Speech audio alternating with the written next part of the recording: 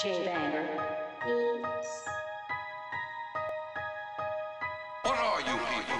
On dope?